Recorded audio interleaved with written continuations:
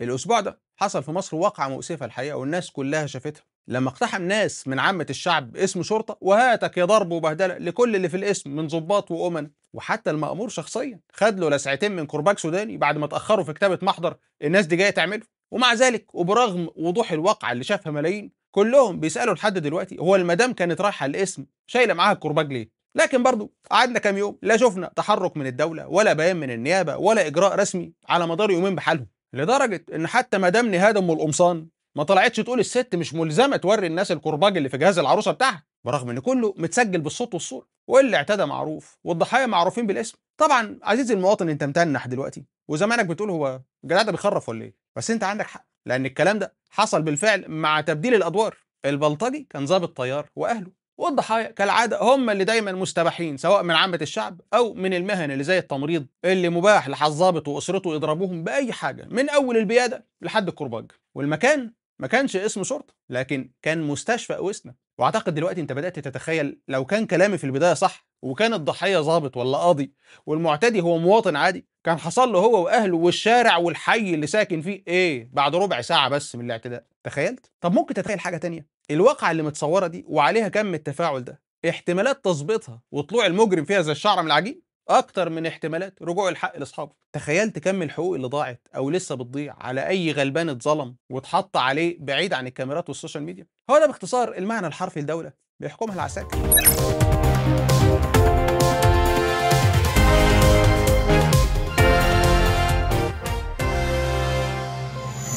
عمرو أديب عن احتجاجات الفاتورة الإلكترونية وارد جدا إن فئات من المجتمع ما يعجبهاش قرارات فتحتج عليها. فأنا بس مش عايز الناس تقف قدام الموضوع بفزع هو إيه ده؟ واحتجاجات ونقابة المحاميين و...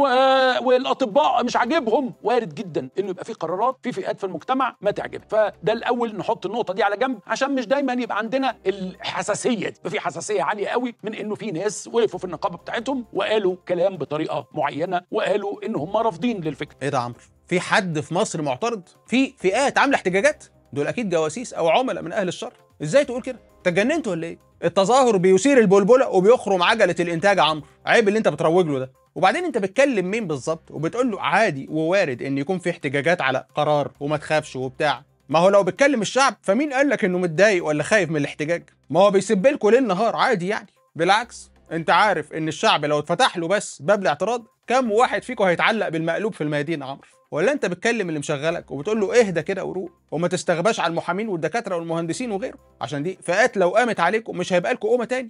إيه يا ولاد الديمقراطية واحترام الاختلاف وحق التظاهر ده؟ بتروح فين كلمة وارد وعادي دي لما الناس بقالها سنين متبهدلة؟ وأول ما حد يفتح بقه بس بتقولوا عليه إخوان. دلوقتي الاحتجاجات عادية وحق التظاهر مكفول. انت مخضوض يا عمرو ولا إيه؟ إيه الحكاية؟ رئيسة المجلس القومي للمرأة أشهد أمام الله وأمام الجميع أن السيسي مقتنع أن المرأة أن المرأة الدرع الواقي للدولة المصرية. طب وأنت قاعدة معاه وهو عمال يشاهدك كده ما حددلكيش أنهي مرأة بالظبط؟ وإيه نوع الدرع الواقي اللي بيعجبه والألوان اللي بتدخل مزاجه؟ أصل دي أذواق يعني وكل رئيس ليه درع واقي على مقاسه. يعني كلمك عن المرأة اللي بتسقف له وتزغرط على كل هبدة بيهبدها في خطاباته ولا المرأة اللي بترقع ضحكة رقيعة على نكته في مؤتمراته؟ ولا المرأة اللي جوزها نفسه ما اكتشفش بعد 20 سنة جواز إنها بتعرف ترقص غير لما بتهزله قدام اللجان الانتخابية؟ عموما هو يشكر طبعا على اللفتة الكريمة دي. بس حياة أبوك يا شيخة المرة الجاية بقول له إن في دروع تانية هو حاطط عليهم في البلد واسمهم مرأة برضه، يعني شوية دروع رميهم في السجن، ده غير الدروع اللي عساكر اغتصبوهم أو عملوا لهم كشوف عذرية، على كام مليون درع مجوعهم ومرر عيشتهم غلا وإحباط وفقر، بيخليه يبص بص على الدروع دي؟ لو ما فيهاش تعب يعني. خالد الجندي السيسي رئيس عنده إنكار للذات ويعمل في صمت، شفتوا مدرسة ولا مصنع ولا مستشفى؟ اسمها السيسي؟ ألف مبروك علينا وعلى بلدنا. رئيس سهران وتعبان ومجتهد ونشيط ومكافح. رئيس ما بيضيعش وقت تعبان عشان بلدنا وسهران على مصالحنا وبيفتح كل يوم. هو ده اللي أنا قلته قبل كده. ما بنشوفش المشروعات إلا وهي بتتفتح. لا في بقى وضع سيادات وحجر الأساس وبعدين ولا آه، حط الأسمنت والطوب وخد بعضه ومولاي كما خلقتني. لا رئيس بتاع أفعال. أفعاله هي التي تتحدث. اللي عمله سيادة الرئيس دوت اللي أنتوا شفتوه ده إجراء في حياته بالمناسبة. يعني إجراء عادي. من يوم ما تولى الأمانة اللي ربنا أسندها إليه ودي نعمة من الله سبحانه وتعالى. شفتوا بيكلم الشباب إزاي؟ شفتوا في حياتكم حالة الحميمية والحب والتواصل مع أولادنا ومع شبابنا والبساطة. شفتوا إزاي بيتكلموا بتلقائية؟ شفتوا مدرسة اسمها مدرسة عبد الفتاح السيسي. شفتوا مصنع مكتوب عليه مصنع السيسي. شفتوا آه آه، مستشفى السيسي. شفتوا كوبري السيسي. مفيش الكلام ده. إنكار للذات وعمل في صمت وعمل دؤوب ومواصلة يستاهل. نقول له ربنا يجازيك خير يا ريس. وما يحرمنا. منك. على رأيك يا شيخ جبنة والله. بصراحة انت عندك حق في حتة إننا ما شفناش اسم فشخه الريس على مصانع ولا مدارس ولا مستشفيات. عشان دي حاجة منطقية أصلا لأنه لا بيبني مصانع ولا مستشفيات ولا نيلة. أما بالنسبة للكباري فمش هقدر أكدبك. هو بيبني كباري الحقيقة بس دي الحاجة الوحيدة اللي مستحيل يحط اسمه عليها. مش عشان هو متواضع والهجص ده ده عشان عارف إنه مش ناقص سف وتريقة. كل شوية بقى الناس تقول أركب السيسي منين؟ أدي كل الحكاية يعني. أما بالنسبة لإنكار الذات فأنت راجل محترم ومش منافق ولا وصولي وإحنا مصدقينك طالما شايف إنه راجل متواضع يعني. خصوصا إنه مفيش خطاب غير لما بيقول فيه أنا عملت وسويت وفهمناه يا سليمان وما تسمعوش كلام حد غيري. وعنده إنكار للذات فعلا يعني مش مسمي حاجة باسمه ولا عامل مسجد الفتاح العليم ولا حاجة ولا صوره موجودة في كل خرم إبرة في مصر من أول الشوارع لحد المكاتب والوزارات والمصالح الحكومية ولا بيتلطع اسمه وصورته على كل مشروع ولو حتى افتتح بلاعة صرف صحي. ويتكتب عليها بقى تحت رعاية فشاخة الرئيس عبد الفتاح السيسي ولا حاجة خالص. الراجل ده ظالم نفسه معانا والله يا فضيله الشيخ فرق علوس إبراهيم عيسى أخطأت في حق نفسي بعدم كتابة يومياتي. طب الحمد لله. قدر ولطف يعني. إحنا اللي فينا مكفينا بصراحة. بص يا عيسى هو أنت لو شايف إنك أخطأت في حق نفسك عشان ما كتبتش مذكراتك ده موضوعك أنت. لكن مع الناس أنت عملت الصح والله. الناس أساسا بتشوفك خمس دقايق بيركبها 100 عفريت. عاوزهم يقروا يومياتك اللي ملهاش عازة أصلا. وتشرك القراء بقى في معاناتي في رفع حمالاتي وأنا الآن في الحمام نزل عليا الوحي كالمعتاد في فكرة الرواية القادمة. وأنا دلوقتي بسلك بلعت الفيلا عشان تلهمني برأي جديد وشاذ في الدين أعمل بيه فرقعة واتهزق عشان أنا حبيت الموضوع ده قوي طب دي كنت هسميها إيه بقى؟ يوميات الحمالات في فقه الخزعبلات. عموما يا إبراهيم مش عاوزك تقلق يعني. يومياتك مكتوبة ومتسجلة في كتابك بالحرف. ده كلام ربنا مش كلامك ولا كلامنا يعني. لميس الحديدي تزف بشرى للمصريين مع ضيف عنده اتنين متلازمة قلب حزين واحد عشان متجوزك والتاني عشان سعران وبياكل كتير. لا حول ولا قوة إلا بالله. وكمان ما عندوش مناعة بسبب التفاصه والكباب والكفتة اللي بيقعد يلغ فيهم على الهوا دي. والشعب كده عنده مناعة ربانية بسبب الجوع. طب دي حاجة حلوة خالص. يعني إحنا ظالمين السيسي والحكومة عشان مجوعين الناس. واتاري كل ده خطة ممنهجة للارتقاء بمناعة المواطن. ظلمناك يا ريس حقك علينا. عمالين نهزق فيك؟ وأنت عاوز مصلحتنا وكل همك صحة ومناعة الناس تبقى زي الفل.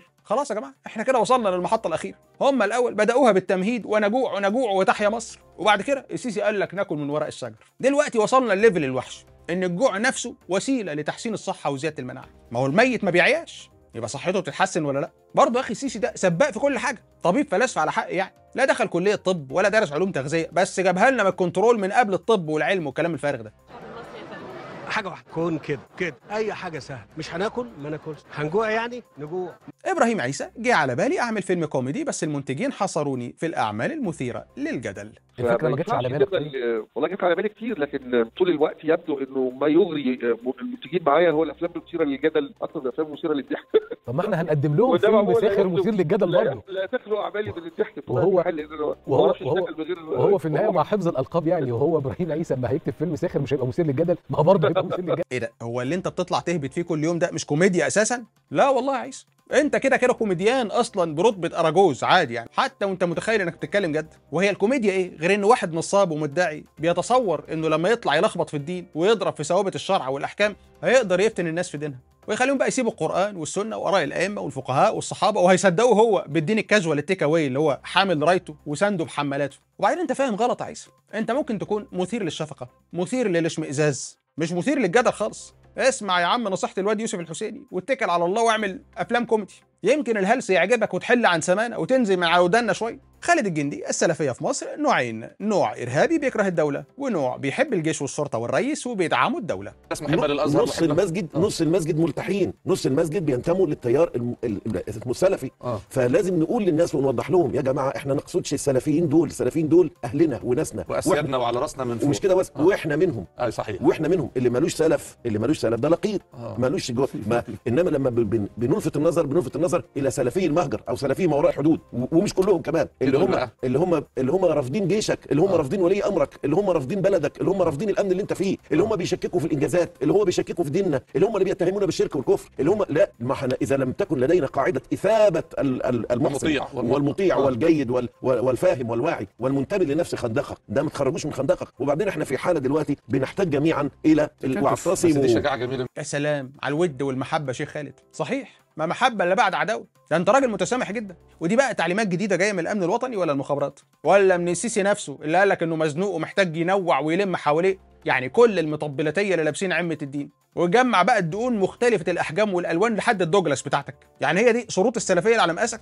ولو طبقوها هترضى عنهم. إن مش لازم يكونوا بيحبوا الدين والحق والسنة قد ما يكونوا بيحبوا السيسي والجيش والشرطة وبتروجيت والسكة الحديد. وبيحبوا بقى الكباري والفنادق والقصور بالمرة يعني. اللي هي سلفية برهامي وحزب النور. طب ما هم موجودين وقلعين وتحت أمر أي إشارة من زمان. بس أنت اللي مش واخد بالك. كده عرفنا يا جماعة جنة الوطن اللي مسموح للسلفيين يعيشوا فيها خلاص. واللي خالد الجندي مش هيقول عليهم عمم على رمم ويقعد يتريق على دقونهم ولبسهم. إنهم يكونوا منافقين وكذابين وبيطوعوا شرع ربنا معاه لخدمة سفاح وظالم أما السلفيين الوحشين بتوع بره دول اللي منهم هيقول عن الظالم إنه ظالم والفاسد إنه فاسد. دول إرهابيين وخوارج حتى لو بيكلموا الناس بالشرع والسنة. صح كده شيخ كنتاكي؟ رئيس شعبة بيض المائدة الفراخ بتجوع وصناعة بيض المائدة بتنهار وملناش ملجأ غير الرئيس يرقد يحمينا. لو ما تمش فرضا لو ما تمش استجابة للبيان بتاعكم وما قللوش المستوردين طبقا لكلام حضراتكم السعر هتعملوا إيه؟ إحنا بنبيع فراخ مقليه نعم. بنبيع بنبيع الفراخ دلوقتي كمان لأن إحنا مش قادرين نأكلها ومش لاقيين بنتكلم في عدد قد إيه تقريبا بيتباع أو هيتباع من الفراخ؟ آه يعني الاعداد الأعداد بالظبط مش يعني يعني إحنا راصدين مثلا حوالي حوالي فوق ال 600 حوالي حوالي كام يا فندم؟ فوق ال 600 ألف فرخه في خلال ال- الأربع أيام اللي فاتوا دول من ساعة ما بدأ بدأ ما يبقاش متواجد السوق. اتباعوا آه دول اتباعوا حاليا. ومرشح يتباع قد إيه؟ والله يا فندم آه، كله بقى على حسب طاقته. وكله على حسب قادر يأكل فراخه أو لاقي وخامات ولا مش لاقي. على حسب الموضوع ده بيتباع. تمام. ما أنا عشان كده بسأل حضرتك. آه لو لحضرتك في خلال ثلاث أيام اتباع حوالي 600 ألف أم بياض أيوه. وفي خلال كام يوم تاني بعد كده هيبقى ليكوا تصرف تاني؟ والله يا فندم إحنا يعني إحنا بنلجأ للسيد الرئيس عشان ما يبقاش لنا تصرف تاني. يعني إحنا ملناش ملجا غير السيد الرئيس ان هو يحمينا من الموقف ده. بتقليل بتقليل السعر. لا حول ولا قوة إلا بالله. حتى الفراخ محتاجة عفو رئاسي. أنت يا ابني سألت على اللي أنت عاوزه يحميكم من الاحتكار ده. وعمالين تلوم الحكومة إنها مش عارفة تسيطر على السوق وسألت إيدها من احتكار المستوردين على أساس إنها حكومة بجد يعني مش سكرتارية بتنفذ أوامر الحيتان الكبار اللي متحكمين في اقتصاد البلد كلها. وبعدين السيسي هيحميك إزاي يعني؟ هيبيض هو مثلا. أنت بتناشد وبتلجأ لخريج مدرسة احتكار كل السلع أساسا. يعني جاي على أس البلاوي وعاوزه يحميك. كان راح حمى النيل وغاز البحر المتوسط قبل ما يحمي البيض. هو قادر يحل عجز الميزانية أصلا؟ ده كل أسبوع بياخد له قرض. عموما اطمن وطمن الفراخ واطمن على البيض لأننا ما زال عندنا اكتفاء ذاتي منه في الإعلام واختلاط السيسي. بكرة البطل الهمام يهل علينا من فوق حماره الأبيض ويفتتح الوطنية للدواجن ومستودعات خير بيض الأرض والاشياء هتبقى معدن بقى وهنتهري بيض. اتقل بس. حزب التجمع البرلمان الأوروبي يعتمد دائما على معلومات مغلوطة والشعب المصري لا يثق في بياناته. وتم الإرسال من جهاز سامسونج وتم استقبال السكريبت من عدة نوكيا بنانا. كان رفعت السعيد شماشرج العساكر شاريها بالقسط من شارع عبد العزيز. إحنا عموما استفدنا من الخبر ده إن لسه في حاجة اسمها حزب التجمع لسه صاحي وبيلعب وما تحولش مقراته لمحلات كشري. وده في حد ذاته خبر عظيم. الاستفادة الثانية إننا ضحكنا شوية من الثقة اللي واخداكوا ورا مصنع الكراسي دي. لأن الشعب لسه فاكركم أصلا ومش هيصدق البرلمان الأوروبي وهيصدق فرع الأمن الوطني اللي مسمي نفسه حزب التجمع. اللي هو يساري الصبح وليبرالي بعد الظهر وبالليل فتحها كباريه وبيلبسوا بدل الرقص للعساكر. الشعب المصري مش بس ما بقاش يثق غير في الغرب وتقاريره عن النظام المصري وانتهاكاته وفساده وفشله اللي الناس لمساه ومش محتاجة تقارير. ده ما بقاش يسمع ولا يصدق خبر عن مصر غير من أي وسيلة بعيده عن الطبالين الوصوليين أمثالكم. اللي شايفين كم الظلم والانهيار الاقتصادي والفساد ده ولسه مستمرين في الانحطاط ودعم حكم عسكري فاشل وقتال قتل لميس الحديدي المصريين مسرفين في استخدام المضادات الحيوية. 70 ألف حالة وفاة بسبب الاستخدام الخاطئ للمضادات الحيوية. ويعني المضادات هتغلى تاني ولا هتتمنع؟ ولا دي سبوبة جديدة من صفقات خير أجناد ومضادات الأرض؟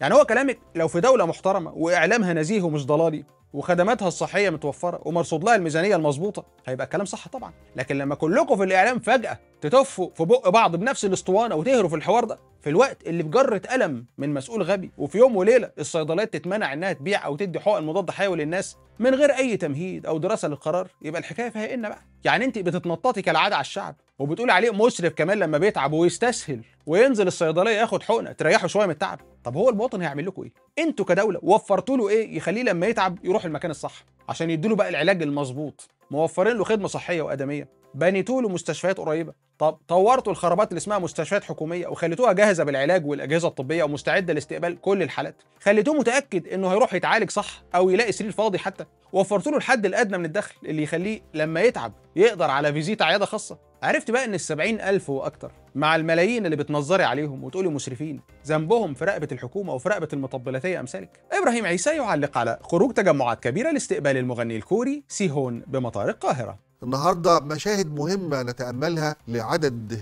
كبير من الشباب المصري مئات وربما يمكن أن نقول آلاف بضعة آلاف يعني أو عشرات المئات حسب تقديرك في مطار القاهرة في استقبال في مداخل بوابة الوصول في استقبال مطرب كوري سيهون أو كيم بان هو. ده أحب يعني أتوقف عند هذه المشاهد ولعلنا نرى الآن بعضها إنه ده حضوره وإحنا عايزين نشوف عددنا إحنا بقى عدد أيوه أبنائنا بنات واولاد وشباب محجبات وغير محجبات. العدد شايف ال- الناس اللي في استقباله الشباب اللي في استقبال هذا المطرب الكوري يعني ربما لم تكن لتسمع عنه من قبل وربما لا يسمع عنه كثيرون لكن طبعا هو ولد شهير عنده عشرات الملايين من المتابعين في آه، اليوتيوب وفي الفيسبوك وهو كان دي جي في آه، عمره 32 سنة وبعدين أغانيه اشتهرت جدا في كوريا. أنا عايز أقول اهو صبية واولاد وبنات وشباب وجيل أقدر أقول إنه فعلا عشرات المئات أو بضعة آلاف. طبعا قاعدين يكرروا صور في أظن مشاهد أخرى غير ده بس لكن عموما يمكن إن إحنا يعني في أكتر من فيديو مش بس الفيديوهات السريعة اللي قدمت الآن وفي صور أهي بتبين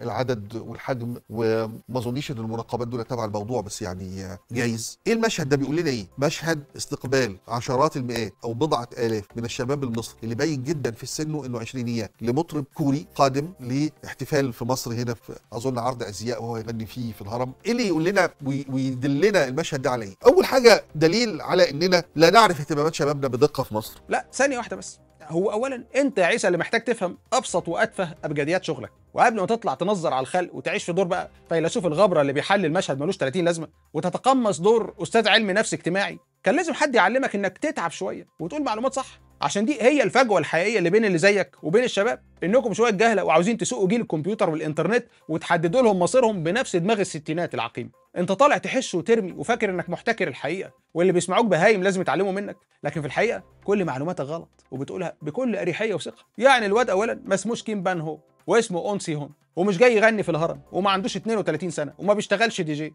ده مغني راب يا مفتح. وحتى الصورة يا راجل اللي انت عارضها مش هو. ثانيا إيه العمق اللي انت عامله للحكاية ده؟ وايه الأسلوب الهادي الحنين اللي بتتكلم بيه ده؟ يعني هي دي المناظر اللي تعجبك؟ وهم دول نوع الشباب واهتماماته اللي بتبسطك؟ لكن لو شفت آلاف ماشيين ورا جنازة عالم دين حمالاتك بتنفجر حزنا على البلد اللي بتضيع. ولو آلاف راحوا المطار يستقبلوا شيخ بيحبوه هتولول وتقول الحقوا البلد اللي بتتخطف من التيارات الإسلامية؟ صح.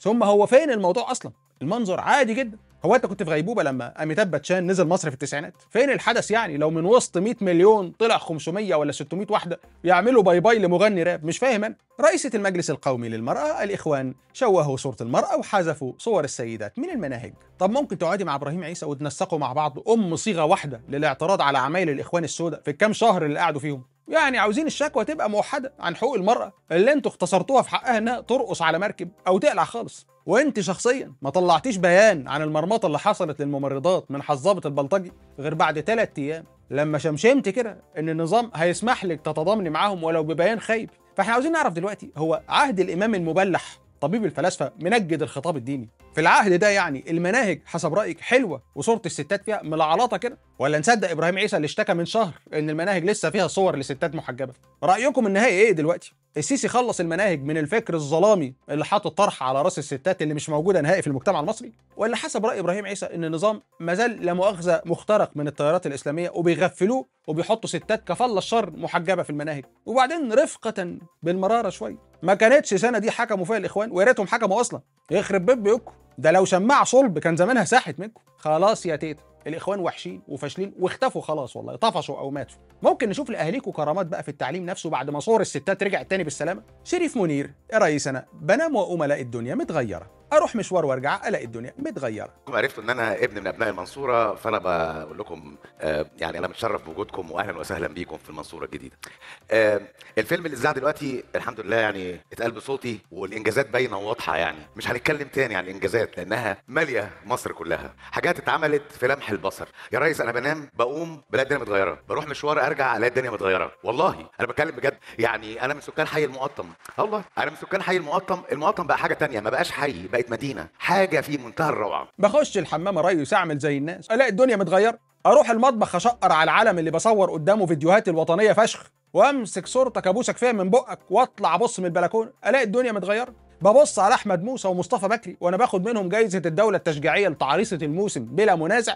بلاقي وشوشهم من الغيظ متغير. راضي عني بقى برنس الليالي. الجميل في الموضوع بقى يا جماعة بعد الرخص اللي أنتوا سمعتوه ده إنها تقريبا أول مرة السيسي ما يبقاش متكيف من التطبيل.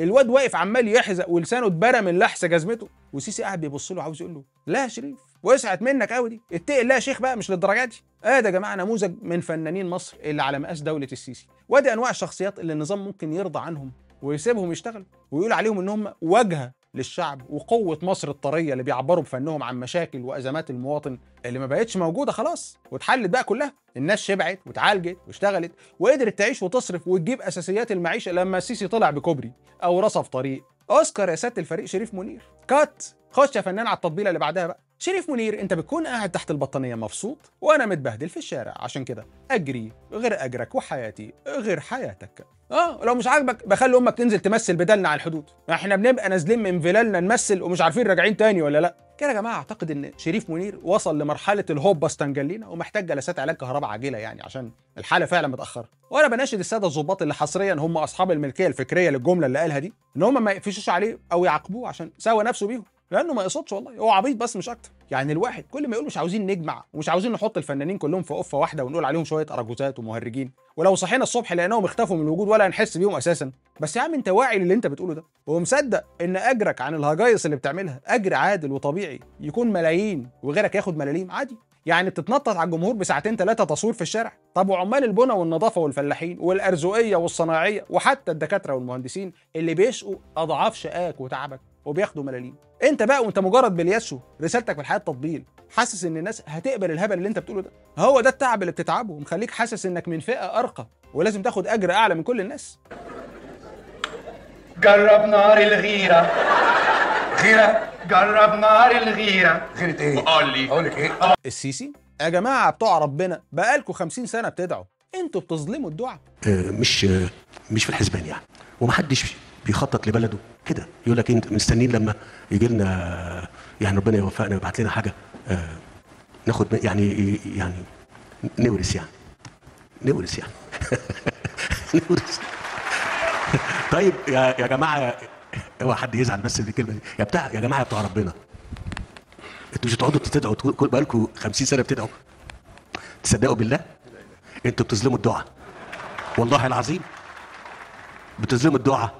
دعاء من غير عمل ربنا ما بيعملش كده. هو بصرف النظر إن مفيش حاجة اسمها بتظلموا الدعاء دي وإنها جملة جديدة من كلامك العبيط اللي ملوش معنى يعني. بس عندك حق والله. آه هي مشكلة مصر فعلا في الجماعة بتوع ربنا اللي بيدعوا دول. هو الدعاء اللي عوم الجنيه ورفع الأسعار وجاب لنا القروض والديون فعلا. إحنا نجرب الجماعة بتوع الشيطان كده أو الكفرة. يمكن يعني تظبط طالما الدعاء مش جايب نتيجة. وأنت ريس أي حد من هنا ورايح تسمعه بيدعي أو بيقول ففهمناها سليمان أو أنا بكلم ربنا وهو بيكلمني وربنا في ظهري كل الدروشه دي بالجزمة وعلى بقه على طول مش طالبة دروشه هنا. بس معلش هو سؤال يعني قد يبدو تافه. ما تسيب اللي يدعي يدعي انت مال أهلك يعني. ما الناس بتدعي وبتشتغل وطالعين عينها. والمواطن بعد إذن سيادتك يعني وأنا عارف إن دي حاجة تضايقك. عارف وقاري في كتاب الله إن ربنا قال له ادعوني فاستجب لكم. ما تشتغل أنت وأنت ساكت. يعني أنت بتحكم في حياة الناس وفي دعاهم كمان. عاوز تاخد عليه فلوس ده كمان؟ بس عموما اطمن. أنت بالذات واخد شوية دعاء ما أقولكش. ربنا يجعل لك منهم نصيب وربنا يستجيب. السيسي جالسا في الفسحة مع أم فاروق. اللي عنده راسين مواشي هيدخلوا له 400 لحلوح في اليوم. لكن الدنيا هتتغير خالص. الراجل هيبقى عنده راسين من دول هيعمل 400 جنيه في اليوم ولا أنا؟ مظبوط يا فندم 400 ب- 200 جنيه في اليوم بالظبط. امبارح جاي أنا بتكلم لو عنده راسين. لو عنده راسين 400 جنيه. 400 جنيه يعني 12000 جنيه في الشهر. حاجة تانية غير اللي إحنا فيه ده خالص. هو بيطلع دلوقتي آه، في اليوم مثلا 10 كيلو يعني 300 كيلو. أرقام مش آه، معلش أنا قطعت شكرا سيد لهم شكرا. شكرا. بصوا يا جماعة ده تقريبا البرومو بتاع الجزء الثاني من فيلم عربيات الخضار واللمض الموفره لفنان الجيل الرئيس بلح. ده رئيس دولة يا جماعة ومسؤول عن بلد فيها 100 مليون بني آدم. مش واحد مع قرايبه وقاعد على شط الترعه ومشمر الجلابية وبيمص قصب وعمال يهرف أي بتنجان. راسين إيه و400 جنيه يا عم؟ أنت تعبان في دماغك. طب واللي ما عندوش مواشي يعمل إيه؟ ثم أنت بتكلم مين أصلا؟ الفلاحين؟ طب ما تبدأ بنفسك كده. وهو القصر واسع. ربي لك جوزين بقر عشان باقي المواطنين ياخدوا منك القدوة يعني. وكل واحد بقى يجيب له جوز معيز وربيهم في الشقة عنده. ويبقى هو ده المشروع القومي الجديد. طالما اللمض الموفرة ما ظبطتش. الفلاح طبيب الفلاسفة محتاج دعم وأسمدة وكيماوي وتقاوي محتاج نظم ري حديثة وتسهيلات في تسويق زراعته محتاج رعاية صحية ومساعدة من الدولة بدل الخوازيق اللي محطوطة له. محتاج كل ده عشان يعرف يعيش ويزرع أرضه مش محتاج الهبل وشغل المصاطب ده. السيسي والله ما حد هيقدر يعمل أكتر من اللي إحنا بنعمله. تاني بقول لكم لو فضل نمونا السكان بالطريقة ديت ما حدش هيقدر يحل المسألة. أنا ما حدش هيقدر. وخلاص ارضوا بقى. ما تقولوش إيه؟ آه يعني أنا ما افتكرش حد هيقدر يعمل أكتر من اللي إحنا والله ما حد هيقدر يعمل أكتر لا لا وبصراحه دي عندك حق الصراحة يا ريس. والله لو جبنا 30 رئيس بعدك ما هيقدر حد يعمل اللي أنت بتعمله. دي أرقام قياسية في كل حاجة. عاوز سوبرمان؟ يا دوب يقرب منها بس. مش هيقدر يوصل لها. يعني قيمة عجز الموازنة وانهيار الاحتياطي النقدي والديون الداخلية والخارجية وعدد القروض وقيمة الجنيه قدام الدولار دي حاجات لا يمكن حد غيرك يعملها. مين هيقدر يفرط بالسهولة دي؟ في اراضي وجزر وحقول غاز وحدود بحرية. مين هيرهن العدد ده من أصول الدولة ويقطع فيها شمال ويمين لكل عابر سبيل عاوز حتة؟ مين هيفرط في مية النيل؟ ومين هيقدر يبني سجون أكتر من اللي أنت بنيتها؟ ومين هيستجري يعمل المجازر اللي عملتها في حق مواطنين عزل؟ ومين هيوصل نسب الفقر والجوع والإحباط عند الشعب للمستوى اللي انت وصلته له. عداك العيب أصلا مش ده قصدك برضه؟ ولا انت مصدق نفسك وبتتكلم بجد عن إنجازاتك؟ أحسن كده ده محتاج تدخل من كل دكاترة الطب النفسي في العالم. وأكيد مع العلاج إن شاء الله هيقنعوك إننا هنجوزك هنومة. مدير مستشفى اوسنا للممرضات أي ضرر هيمسكه في النيابة؟ أنا غير مسؤول عنه. لما أروح أشهد. شايفين أنا بوضح لكم. أنا هقف عند رفع أوراق. هقف عند النيابة. يكون مني. يكون موجود. هقف هقف. إن إيه اللي هيحصل بعد كده؟ وأي ضرر هيمسكم أنا غير مسؤول. أنا غير مسؤول. تمام؟ ولكن إمكانياتي ك إن أنا وقفت في ظهركم وجبنا قياداتنا وقلبنا الدنيا حصل. أنتوا كنتوا ممكن تروحوا كلنا نعمل كده وانت تعملوا واحدة الدكتوره رشا بقى هم جايين بيعتذروا وبيقولوا أنتوا عايزين تعملوا لو انت بصي على اول كده قال لك إحنا غلطانين لا أنا شايف بس ده إحنا وصلنا كام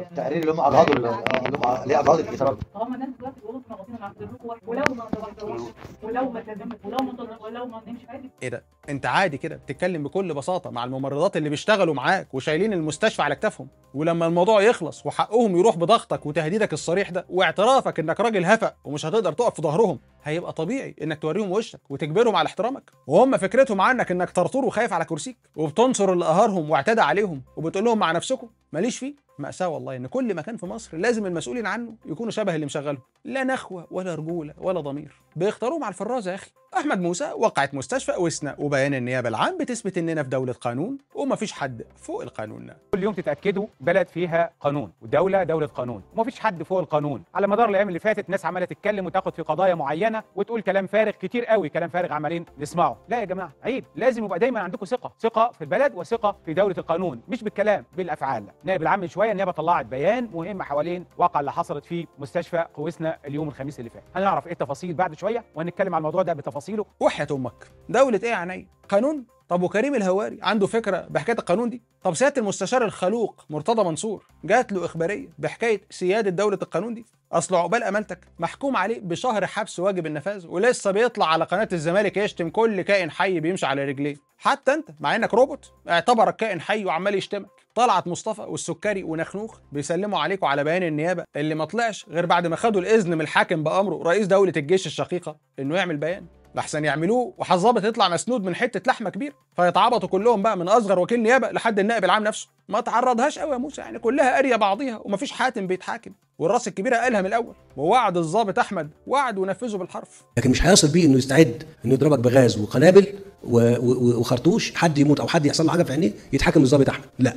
السيسي الناس اللي بتسأل أنت بتعمل كباري كتير ليه؟ لو ما عملتش كده هبقى بضيع البلد والجيل اللي جاي يعني يعني أنا أسمع كتير يقول لك إيه أنتوا بتعملوا شبكه طرق ليه؟ إيه الكباري ديت؟ طب ادونا ناكل ما هو أنا لو ما عملتش كده أنا هظلم الجيل ده والقادم والله لو ما كانتش البلد يتعاد والخطة الاستراتيجية بتاعتها اللي اتعملت من قبل أنا ما آجي وقبل اللي قبل مني ما يجي يا دكتور مصطفى مش كده يا دكتور عاصم؟ صحيح يا فندم لو ما اتعملش يبقى إحنا بنضيع البلد أيوه برضو يعني فين أم الإجابة على أم السؤال أنت بتبيض على نفسك كمان ده ما حدش سألك أساسا أنت اللي بتسأل. وبرضه بتلف وتدور على نفسك وبتهرتل. يعني إيه لو ما عملتش كباري؟ البلد والأجيال اللي جاية هتضيع. يعني الجيل اللي جاي لو جه أصلا وما نفذتش مشروع اقصاء الشعب اللي عمال يخلف ده ومعطل لك إنجازاتك مش هيحس بالضياع لما يفتح عينه على الدنيا يلاقي الكباري فوقيه بتسلم على بعض في الجو. يعني عدم وجود الكباري هو اللي هيعمل له أزمة نفسية وضياع. بس عادي يطلع للدنيا ما يلاقيش مصنع ما يلاقيش مستشفى مدرسة عليها القيمة ياخد جواها تعليم حقيقي. ما يلاقيش مزارع وأسواق ومدن صناعية وفرص عمل.